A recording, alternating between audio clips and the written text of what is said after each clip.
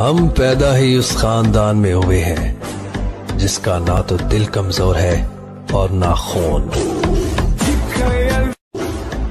हम पैदा ही उस खानदान में हुए हैं, जिसका ना तो दिल कमज़ोर है और ना खून।